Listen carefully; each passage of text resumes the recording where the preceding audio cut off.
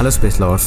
Black హోల్స్ని అర్థం చేసుకోవడానికి సైంటిఫిక్ కమ్యూనిటీ చాలా కష్టపడుతుందని చెప్పుకోవచ్చు. ఎందుకంటే మనం కనిపెట్టిన మ్యాథమెటికల్ ఈక్వేషన్లు కానీ ఫిజిక్స్ లాస్ కానీ బ్లాక్ హోల్ లోపల ఏం జరుగుతుందో చెప్పలేవు. అంటే కొన్ని వేల లైట్ ఇయర్స్ దూరంలో ఉన్న ఆబ్జెక్ట్స్ ఎలా బిహేవ్ చేస్తాయో మన దగ్గర ఉన్న ఫిజిక్స్ లాస్ని ఉపయోగించి చెప్పగలం.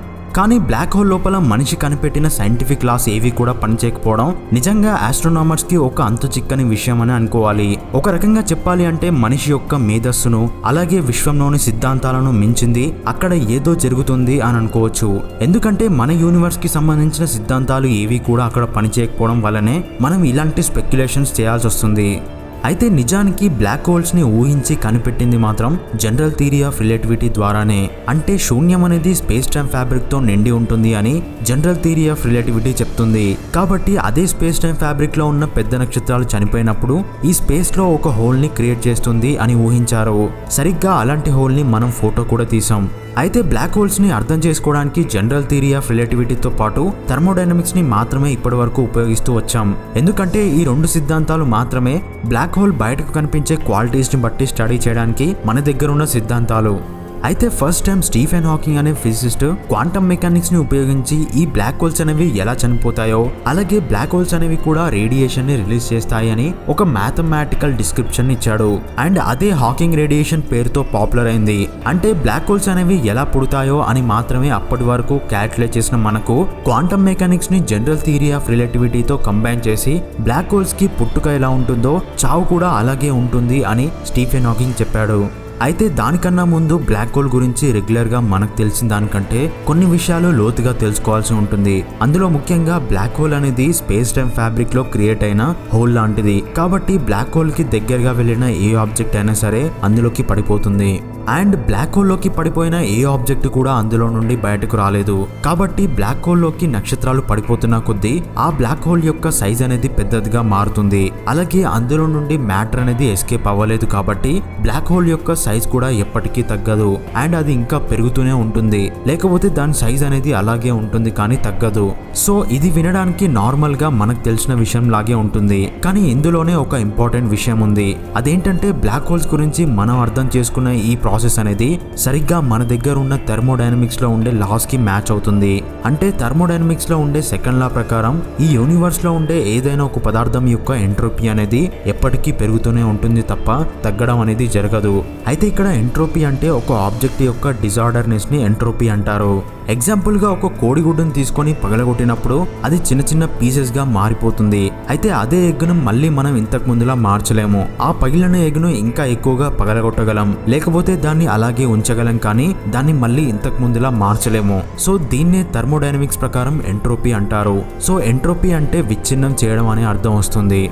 అండ్ ఈ సెకండ్ లా అనేది బ్లాక్ హోల్స్కి సరిగ్గా సరిపోతుంది. అంటే బ్లాక్ హోల్స్లో కూడా దాని సైజ్ అనేది పెరుగుతుంది తప్ప ఎప్పటికీ తగ్గదు. ఎందుకంటే బ్లాక్ హోల్స్ నుండి ఆబ్జెక్ట్స్ అనేవి బయటకు రావు కాబట్టి.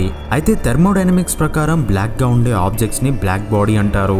ఈ బ్లాక్గా ఉండే ఆబ్జెక్ట్స్ అనేవి సహజంగానే లైట్ని పీల్చుకుంటాయి కానీ బయటకు రిలీజ్ చేయవు. అండ్ బ్లాక్ హోల్ కూడా థర్మోడైనమిక్స్ ప్రకారం బ్లాక్ ఆబ్జెక్ట్ అనుకోవచ్చు. ఎందుకంటే బ్లాక్ హోల్ కూడా లైట్ని పీల్చుకుంటుంది కానీ రిలీజ్ చేయదు.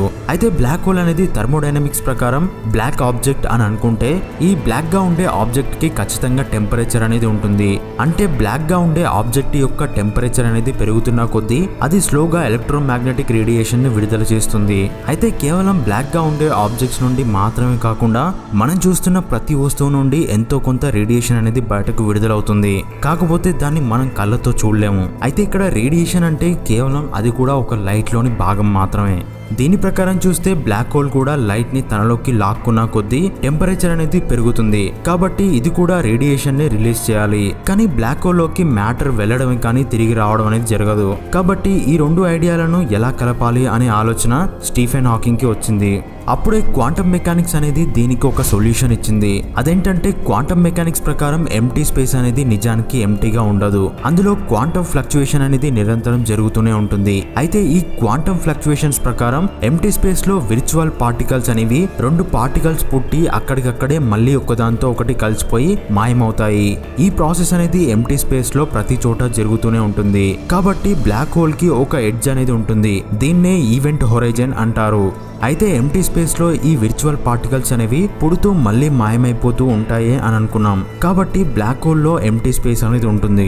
కాబట్టి ఈ ఎంటీ స్పేస్లో విర్చువల్ పార్టికల్స్ అనేవి ఉంటాయి. అయితే బ్లాక్ హోల్కి ఉన్న ఎడ్జ్ దగ్గర అంటే ఈవెంట్ హొరైజన్ దగ్గర ఎలాంటి మ్యాటర్ అయినా ఈ ఈవెంట్ హొరైజన్ని దాటితే అవి బ్లాక్ హోల్లోకి పడిపోతాయి. సో క్వాంటమ్ ఫ్లక్చుయేషన్ అనే ప్రాసెస్ ఈ ఈవెంట్ హొరైజన్ దగ్గర జరిగినప్పుడు విర్చువల్ పార్టికల్స్లో ఒక పార్టికల్ అనేది బ్లాక్ హోల్ నుండి ఎస్కేప్ అయిపోతే మరొక పార్టికల్ అనేది అందులోనే పడిపోతుంది. ఎందుకంటే విర్చువల్ పార్టికల్స్ అనేవి ఒకదానికి ఎనర్జీ ఎక్కువగా ఉంటే మరొక దానికి తక్కువగా ఉంటుంది.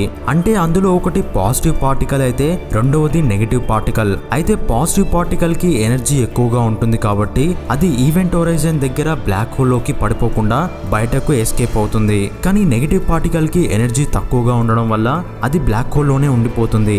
అయితే బయటకు ఎస్కేప్ అయిన ఈ పాజిటివ్ పార్టికల్ అనేది దాని పార్ట్నర్ని కోల్పోతుంది కాబట్టి అది డిసపియర్ అవ్వలేదు.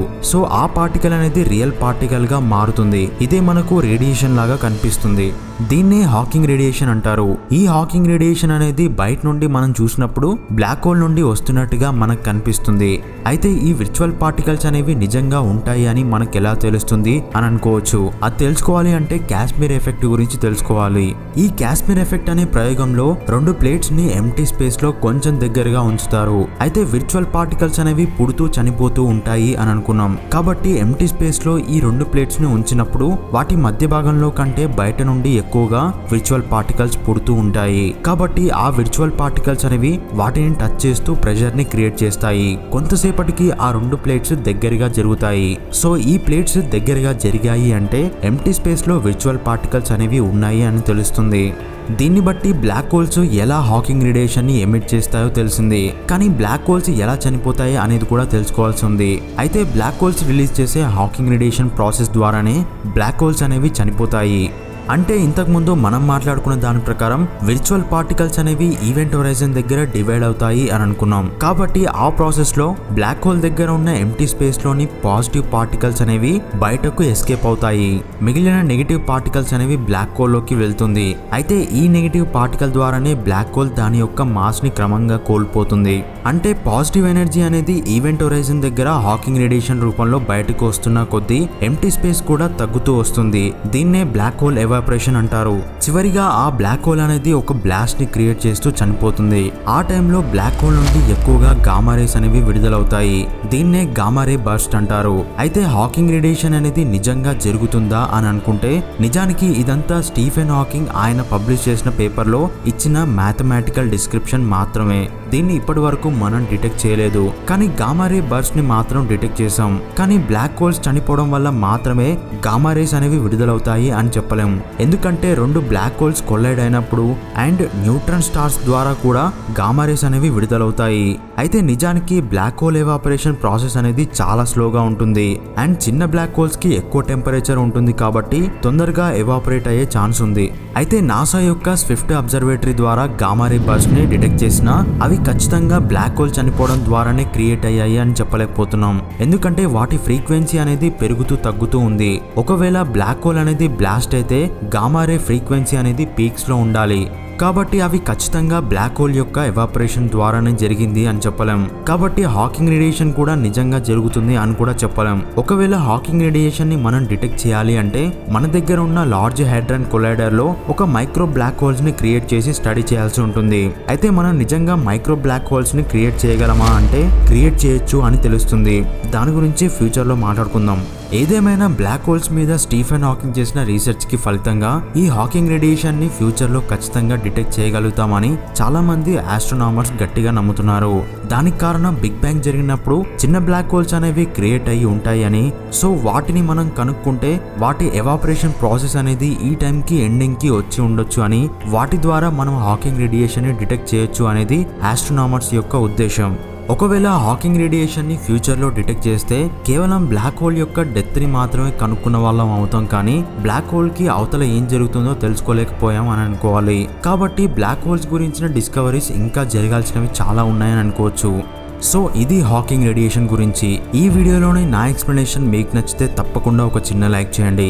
అలాగే మీరు కనుక సైన్స్ అండ్ స్పేస్ లవర్స్ అయితే నా ఛానల్ని ఖచ్చితంగా సబ్స్క్రైబ్ చేసి పక్కనే ఉన్న బెల్ ఐకాన్ని క్లిక్ చేయండి. అలాగే ఈ టాపిక్ పై మీ అభిప్రాయాన్ని కామెంట్ రూపంలో నాకు తెలియజేయండి. And thanks for watching